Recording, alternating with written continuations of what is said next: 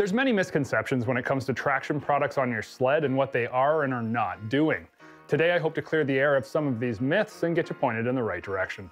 Sites such as the Woody's online application guide is a great place to get you started. Right up front, we need to know that there are a lot of preconceived ideas about carbide runners and studs, and many of them are just plain old wrong. The days of 300 studs in our tracks and 20 inches of carbide runner are gone, and thanks to innovative and greater understanding of a snowmobile's dynamics, we're able to not only improve the performance of a snowmobile, but more importantly, and more front and center, increase the safety. And that is truly where the carbide hits the ice. I'll go into greater detail about both studs and carbide runners, but for this week I'm going to stick to just carbides. Many people believe that the greater the length of the carbide insert on your runner, the better the steering. But after talking with the folks at Woody's, they're plain old wrong.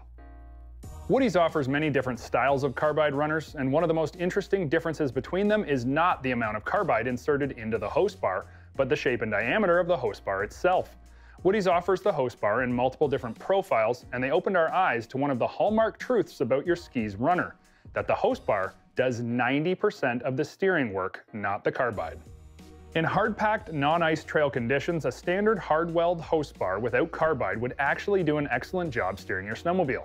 The rounded profile is less aggressive and will turn much smoother, however can get sucked into other tracks and may cause some level of tracking or darting. The Ace Carbide Runner offers a narrow, flat-sided host bar that cuts its own groove and causes the ski to have a more aggressive keel. Woody's offers multiple options for host bar diameter as well as host bar profile, but possibly one of the more popular options of the past five years is the Dually and the Slim Jim. These twin profile runners go a long ways in changing the steering dynamics of your sled. Keep in mind that the host bar is doing most of the steering work, but now we have two profiles instead of just one on a single runner. But also keep in mind that with these two profiles, you have two per ski for a grand total of four, which is displacing your weight over a much greater area. Because of this displacement, the dually featuring dual round host bars became increasingly popular with touring riders on four-stroke snowmobiles. With the front end weight increased, the dual pattern along with the larger contact area meant riders would experience easier steering effort and reduced darting. However, the lower pressure on each host bar also caused some pushing in corners when the aggressive rider was pushing the snowmobile harder and higher ground speed. To solve this problem, the Slim Jim Dually carbide runner was designed. It uses a square profile host bar that cuts down and pierces through the snow and hooks up much better at higher speed. The Slim Jim provides aggressive riders with the front end precision that they desire at high speeds, however because they cut through the snow they do wear out quicker. With the changes in ski profiles since the days of trailing arms and skis that were way out in front of a snowmobile's mass, manufacturers have also changed the design of ski and increased the rocker, while shortening up the keel to try to keep the steering from feeling too heavy. On some ski profiles, like the Pilot ski from Ski-Doo, Woody's found that the front of the carbide host bar would actually wear clean through because the front end pressure being put on the skis.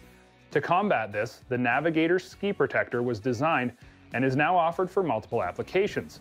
This unique design actually packs the snow ahead of the runner itself, creating a fresh surface for the carbide to cut its own path.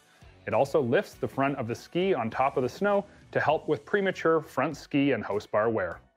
Now we can't go without talking about the carbide insert itself, because while the host bar does do a lot of the steering work, the reality is the carbide's there for more than just protecting the host bar from prematurely wearing out. And surprisingly, that is one of the design elements of the carbide.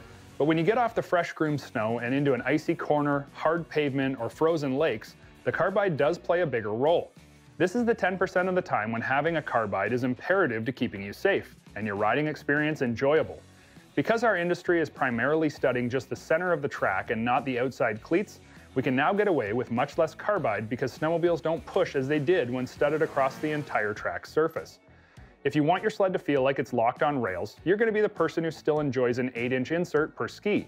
However, because of the rocker, most times only 30% of that carbide will actually be contacting the trail. The average rider still finds 4 or 6 inches to be more than enough carbide with many four-stroke riders using the Dually or Slim Jim products to reduce steering effort. Make sure you stay tuned to next week's episode where I'm going to talk more in depth about studs and how they affect your sled's complete traction package. And they do a whole lot more than just adding performance, but more importantly, keeping you safe out on the snow. If you enjoyed the video that you just watched, like it and then subscribe to our page for more great content from SnowTrax TV.